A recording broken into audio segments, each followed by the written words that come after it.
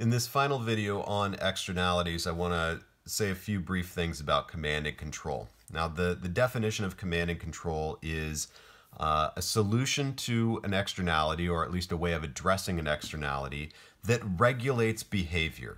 Instead of, like with a Pigouvian tax or subsidy, uh, you know, trying to make the price efficient in the market and therefore guide the market to the right, uh, the right solution, the right level of output. And instead of just leaving things to people's bargaining decisions, like with the Coase theorem, command and control is where the government comes in and says, you must do this or you must not do the other thing. Uh, the example that they used in the textbook was, um, uh, let's see, 2007, I think. The government made it so that it was illegal to buy and sell um, wash machines and dryers that were not energy efficient. So that law went into effect. The idea there was reduce the amount of electricity consumption in the United States by a certain amount. And the solution that the regulator imposed was, well, let's let's make it so that these particular um, appliances have to be energy efficient. They have to reduce their energy use by a certain amount. Same thing happens uh, with uh, fuel efficiency standards for automobiles in the United States. Um, the government imposes a regulation. I think they started in the 1960s or 70s, imposing regulations that said all cars must, of a certain, uh, within a certain category, must get so many uh, miles to the gallon. Okay. By the way, that is one of the reasons why in the U.S. today cars look so similar to each other compared to back in the 1930s and the 1950s. Uh, there was more variety in, in body types of cars. It's because uh, when you have a, a, mandate that says you must get so many miles to the gallon, that limits the, the size and the shape of the car because you have to worry about the aerodynamics. Uh, and so that that results in kind of a more boring car stock for Americans today versus Americans 50 or 60 years ago. Uh, by the way, we also owe the minivan to the uh, the fuel efficiency standards because minivans are effectively cars that can carry a lot of people, uh, and, and and so they uh, their fuel efficiency standards are based on truck fuel efficiency standards, or at least they they were originally.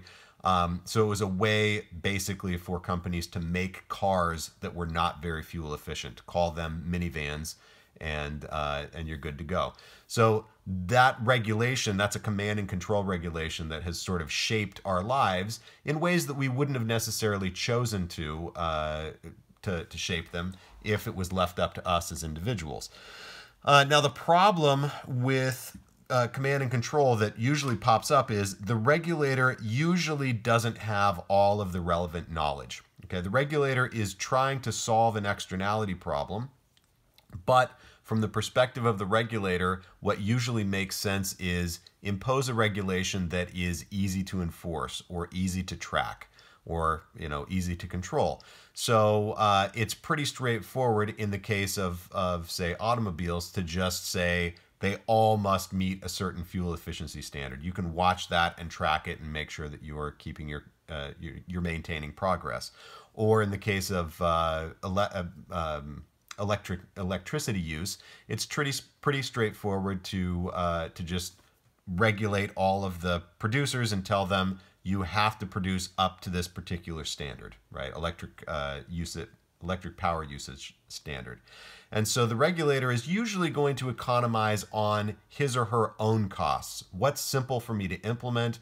What is applicable across the board? Um, you know, what will make life easy for me? The problem is what is easiest for the regulator to enforce is not always the most cost efficient way of solving the problem. In fact, usually it's not going to be the most cost effective uh, way of solving the problem because command and control is typically one size fits all right? If you go back and think about uh, a Pigouvian tax, that's not a one size fits all solution in the sense that it doesn't force everybody to do the same thing. All you're telling the, the buyer and the seller with a Pigouvian tax is you're welcome to trade as much as you want, and you can you can use this product you know however you want produce it however you want but every unit that you trade you have to pay us money and then once they've internalized that cost you leave it to them to figure out what's the, the cheapest, most efficient way uh, and highest value way to produce and consume the, uh, the, the good in question.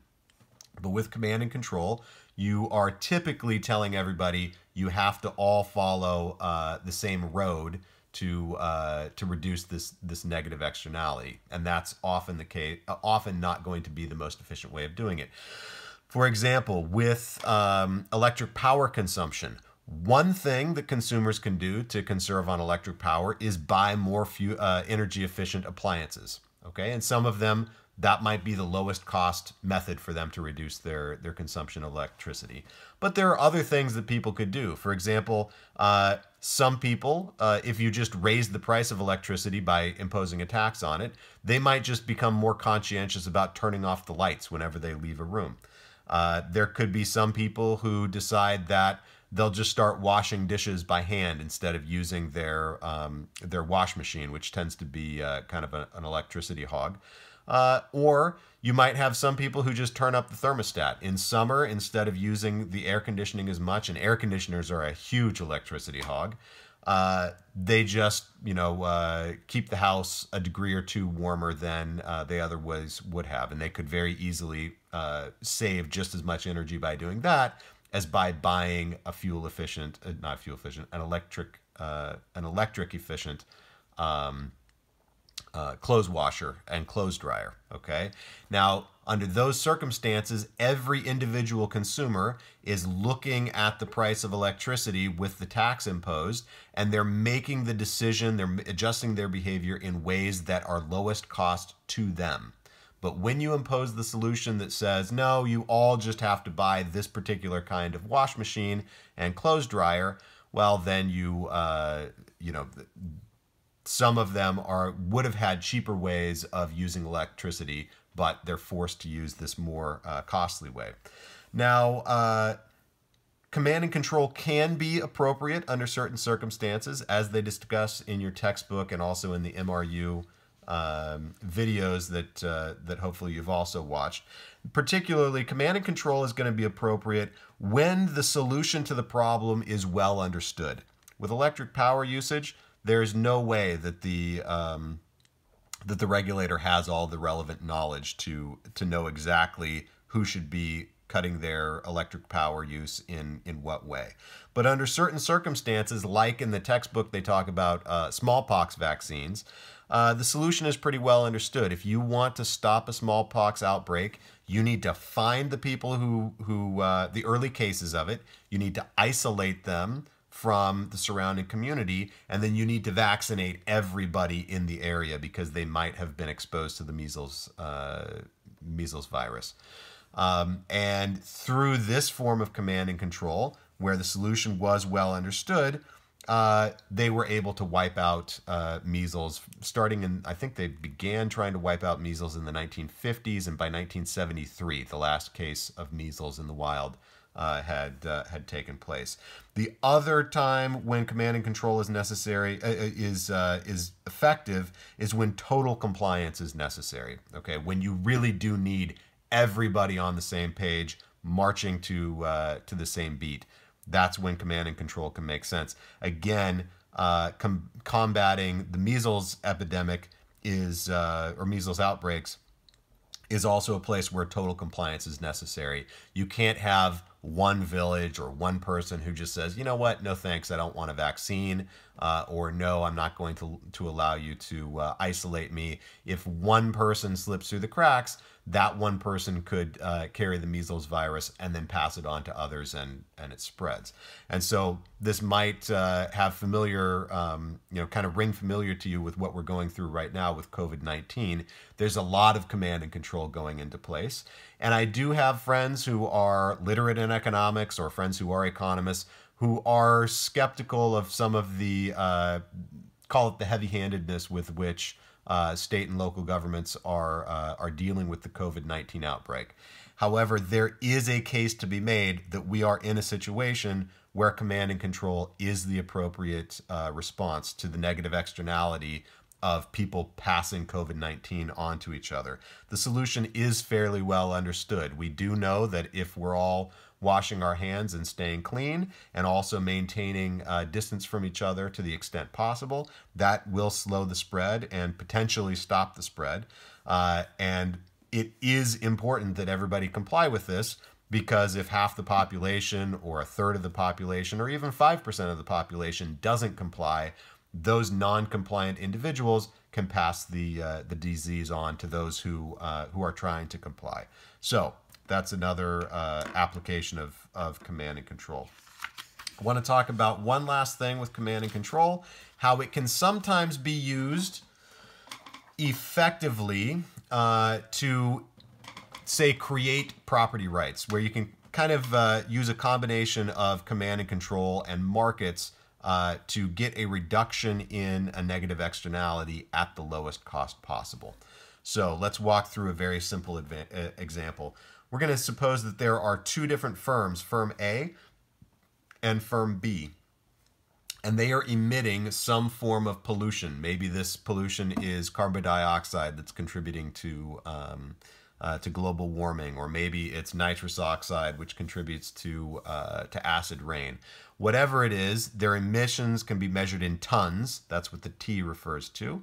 And each of these firms is emitting 100,000 tons per year. Now, we would like to see them uh, reduce their emissions, but it's costly for them to do that. Uh, each of them would bear a cost for every ton that they reduce, but those costs are not the same. Firm A, it would cost them $50 per ton to reduce their emissions. And firm B, it would cost them $100 per ton to reduce their emissions. The reasons for these different costs uh, could spring from a number of different sources. It could be that these are two firms in different industries, so they emit the same pollutant, but they're producing different things. And so the factory of firm A has an easier time maybe substituting into some other uh, input to uh, to reduce their um, their emissions. Or it could be that they're in the same industry, but firm B has an older factory and it would be harder to retrofit that factory uh, in ways that would reduce the uh, the emissions, whereas firm A has a more uh, a newer factory that um, it would be cheaper to to retrofit it or to, to add on the new technologies to uh, to reduce the, the the emissions. Whatever the reason, it's cheaper for for firm A uh, to reduce their emissions than it is for firm B. What does that mean? Well, let's also uh, add one thing to the side, which is the goal of the uh, of the regulator is reduce the emissions by 10%.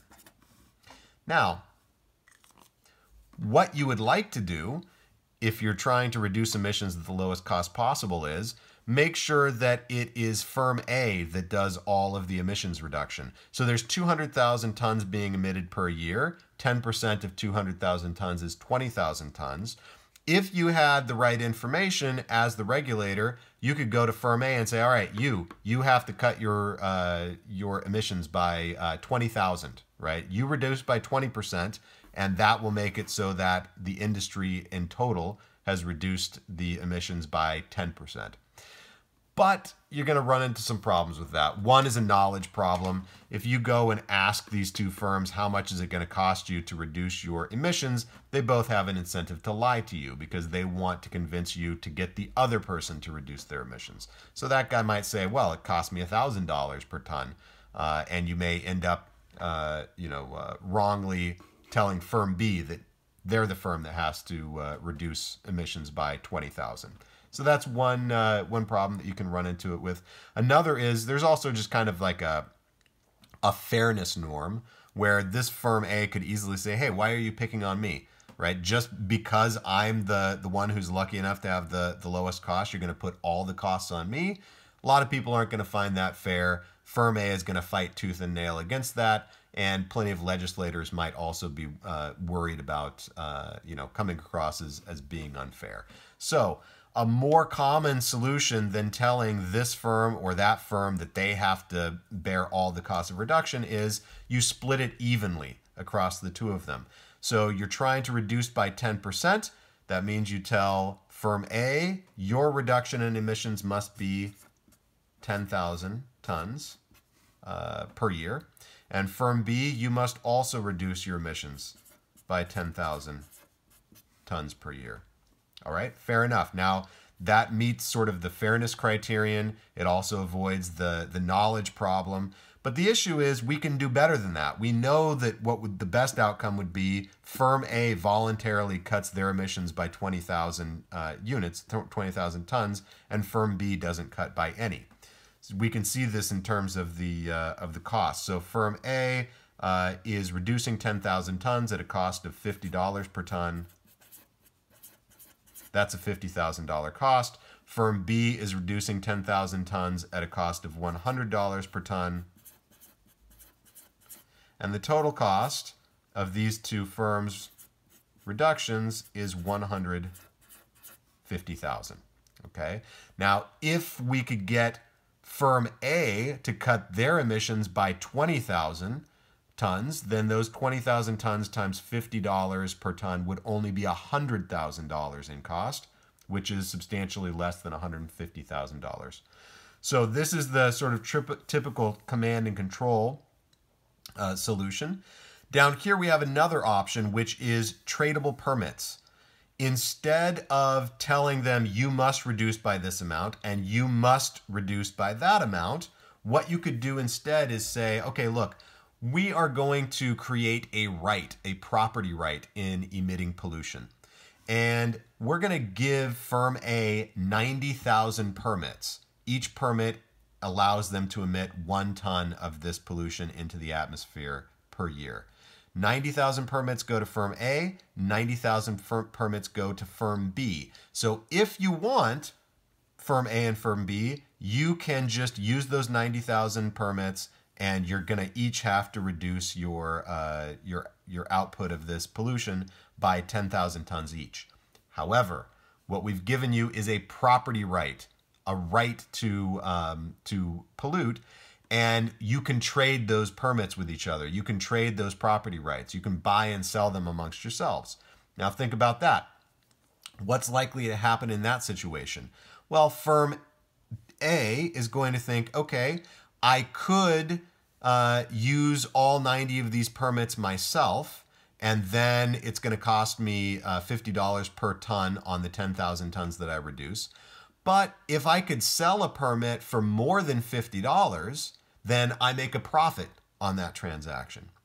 Firm B could be thinking something similar. They could be thinking, well, uh, I could use all 90,000 of these on my own and cut my emissions by 10,000 uh, tons.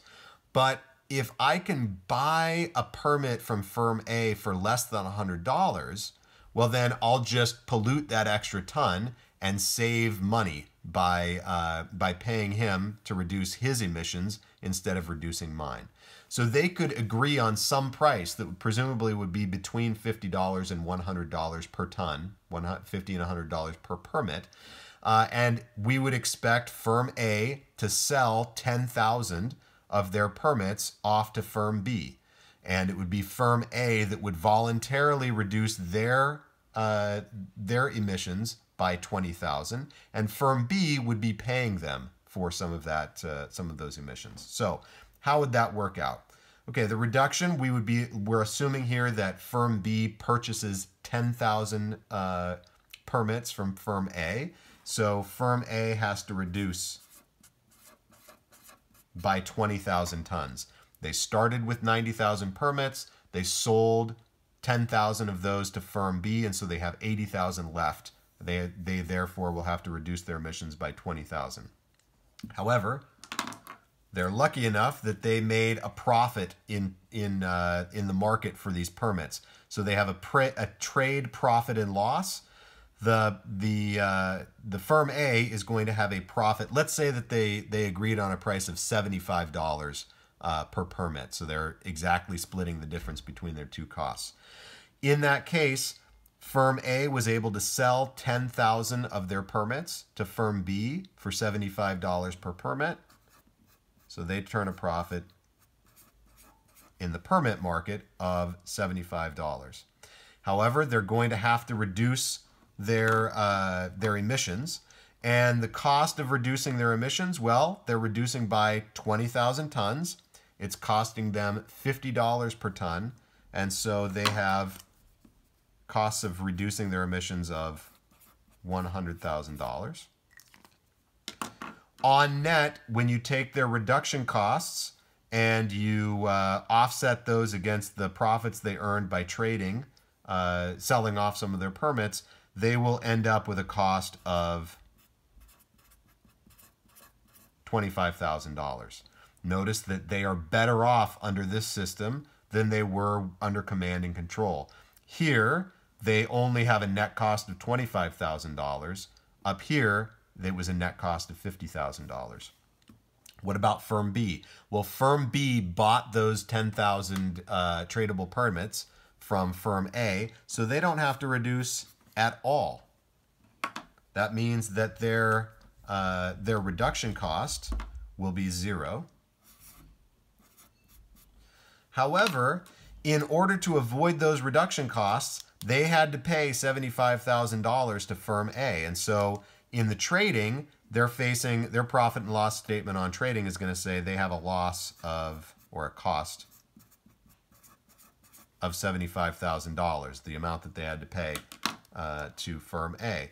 Now, when you combine those two, the reduction cost and the trading cost, firm B has a net cost of $75,000. Notice that they are also $25,000 better off with tradable permits than they were under the command and control system. So, under command and control, the total cost of compliance is $150,000. When we allowed them to trade permits with each other, the total cost combined between the two of them is only $100,000. So it costs $50,000 less than command and control. And you can see that both of them are better off uh, as compared to the baseline of command and control. Now, this is good for two different reasons. The first reason is if you can reduce pollution at a lower cost, that means that there's more resources left over to buy and produce other goods and services. So we can get just as much reduction in pollution and have money left over for more other things. The other reason why this is important is, as they point out in your uh, your textbook, when the cost of reducing pollution is lower, we can get more of it. Right? Uh, an economy can handle uh, more. You know, maybe maybe the economy can handle uh, thirty thousand tons in reduction or twenty five thousand tons in reduction if we know that we can get it at a cheaper cost of reduction uh, per ton. Okay, so this this system of tradable permits is this uh, combination of command. There is a command and control element because the government is saying you only have the right to uh, to emit as much pollution as we give you permits for, but it it it uh, melds that command and control with a sort of property rights and, and market solution in the tradable permits. And it allows you to uh, get the same outcome cheaper than you would with just command and control on its own. All right, that is it for my lecture videos on Chapter 10, Externalities. Uh, hope you guys enjoyed them. And as always, be flexible, communicate, and stay awesome.